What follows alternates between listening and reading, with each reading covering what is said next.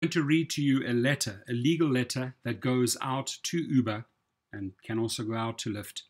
And you're going to get a lot of important addresses that you might need in the future and a lot of important phone numbers and emails of Uber that you can contact them directly because the problem at the moment, and this is rampant, they are just deactivating, deactivating, deactivating drivers. Why are they doing this? Because they are only looking at the rider side. One complaint and you're out, right? A big complaint. Could be a, mostly a false complaint or a complaint from a food delivery uh, order, and you're out there and you're losing money and your stress levels are through the roof. Now, as one of the largest, biggest, I'd say, biggest critiques of Uber and I've only stepped into that role because once you've been screwed over like this guy, once you've been screwed over like myself and thousands of others, you stand up, you rise. Look at what those guys did in the UK a week ago. Two guys took on Uber because they had enough, right? And that's the same DNA that you have to have. You've got to fight back. You've got to say to yourself, you know what? I'll take on this Goliath. I have no problem. I'll step into the David role. And helping, educating, and getting these success successes is extremely rewarding to me because I made a promise to the Uber attorney Randall Heimovicki a while ago. I said, listen, you may take $750,000 of unpaid referrals of my money, but I'm going to cost you 100 million guaranteed. And to date, if I look at the amount of attorneys that I uh, if I look at the amount of drivers that I funneled into class action lawsuits, the amount of people that filed small claims, the amount of people that have taken Uber on, I've cost them way more than that, right? So uh, this letter goes out to Uber Technologies Incorporated, right? Attention Legal Department. There you have an address, an important one, 1455 Market Street, San Francisco. You have another important email and address there, CT Corporation System, OBO, Uber Technologies Inc., 208 South LaSalle Street, Suite 814, Chicago. And you have an important email, insurance legal at Uber, right? Um, and this here had to do with the deactivation of driver Intezar Shah, who I know. Um, that's that's the email there that they reference, the date, right? And they say, Dear Uber Technologies, and this would be a typical response after a law firm has listened to you, after they know um, why you got deactivated, you know, it, it, when you fill in the form and you say they deactivated me for this and this reason, but never ever gave me any proof or just wrongfully terminated you, out goes this type of letter.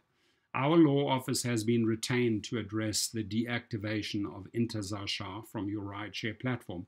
On approximately October 17, 2020, your company restricted Intezar Shah's access to the platform. Since being hired, Intezar Shah has been a dedicated worker with positive ratings and reviews until the deactivation of approximately October 17, 2020. Uber Technologies Inc. gave no notice, no notice or indication that Intezar Shah's employment status was in peril. Furthermore, Intezar Shah had no opportunity to challenge, contradict, or even address the allegations that lead or that led to the deactivation. So does this does this language sound familiar, right?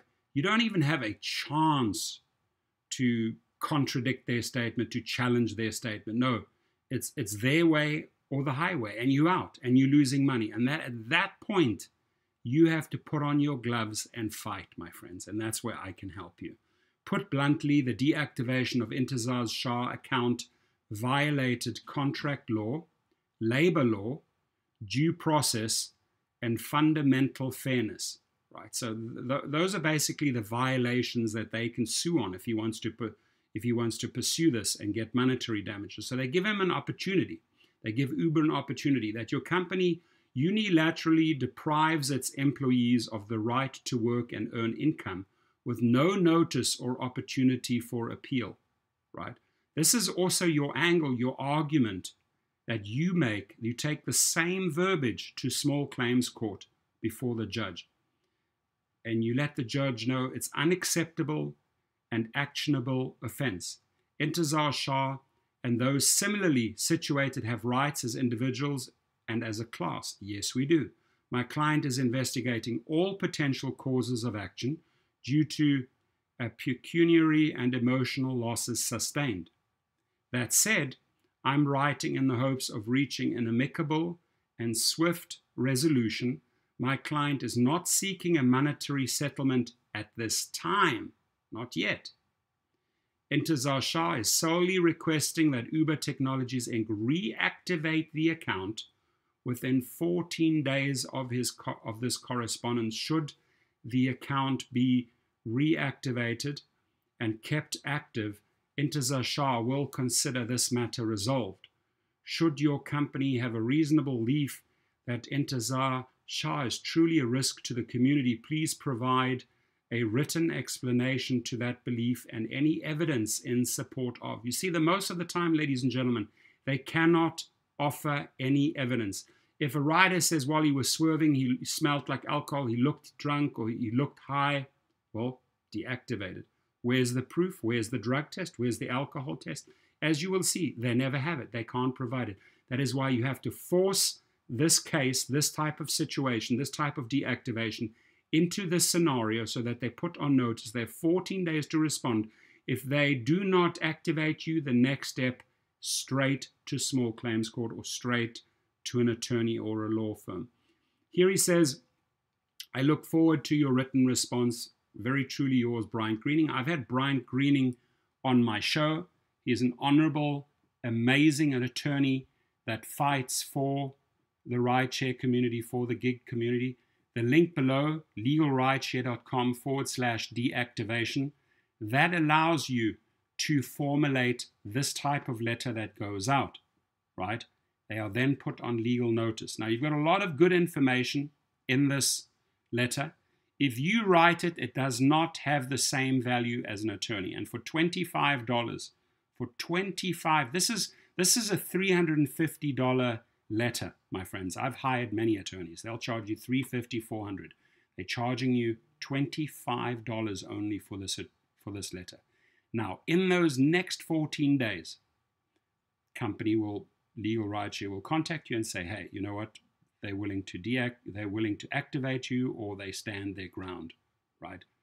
That off, if they stand their ground and they let the deactivation stand, you then have to make up your mind. Do I put on my gloves and do I duke it out with these people and drag them right into small claims court? The answer is yes, right? You do not tolerate a one sided opinion. Your opinion here, your side counts. That's why I made this video, right? So let's stand together because together we are strong. Let's educate together. Let's get this video out to other drivers, rooms, etc., Facebook, Twitter, so we can show drivers and gig workers that they do have two legs to stand on and that they're not alone and that they can fight back and that they can get activated again and that they can get the damages and the losses of their earnings, right? Because they deserve it. So I appreciate your time. Stay safe out there. Um, I'm, I'm helping Intezar Shah at the moment, and the next steps are going to be small claims uh, cases, and the next steps are going to be showing him how to use social media. You have to turn to social media and out these fools and expose the Dara Khosrowshahis of the world, the Logan Greens, the John Zimmers. You have to hold up the mirror to them and say, no, not with me, folks. Okay? So please, uh, don't just kick back, accept your deactivation and move on. Fight back. Thank you and have a wonderful day.